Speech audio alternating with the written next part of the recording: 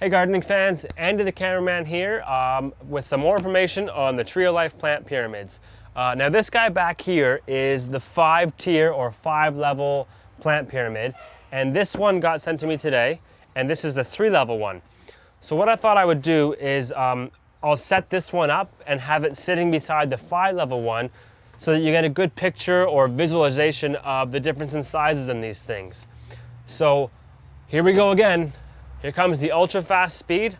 I'll whip this together and then we'll uh, plant it up. So that's it. It's together. Uh, it couldn't be easier. And uh, now we'll throw some soil on this guy. But you can kind of get a good um, picture here of the difference in sizes. So pretty cool. So when you're ready to fill it, just pull the top off. And then I've got my bag of Miracle-Gro potting mix here, and I'm just gonna pour it in. I've already started, okay? Okay, so once you got it roughly, you know, filled up to that level there, just use your hand and mush it around, right? So you just reach in below here and just help the soil to fall. So a good trick is you just reach up and pull and it all just falls in. And as you can see, there's pretty much almost no spillover. A lot of people have uh, concerns like, you know, how do you fill this thing? Is it gonna fall out everywhere? And I think you can see here, it's actually pretty easy to do. All right. So now what you want to do also is you see the corners here, uh, you just want to push the soil out to the corners to make it all look even. Okay. So the next part is you take your top piece and you just put it on the top there, okay? So you saw that go down, you just slip the top back on, super easy.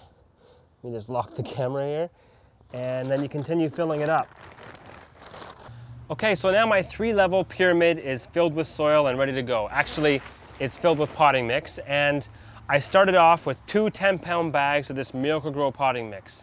And I have roughly about four pounds left over. So if you're gonna get the three level one, make sure you get uh, two 10 pound bags of whatever potting mix you choose. And just to measure this out for you, it is roughly three feet uh, um, across. So if you're gonna get the three level pyramid, make sure you got at least a three and a half foot space uh, by three and a half feet to fit this in and make sure you got lots of available sunlight. So now it's time to plant this puppy up. And here's the five tier TrioLife plant pyramid. Fully assembled, full of soil and planted. Now this is my sort of herb garden.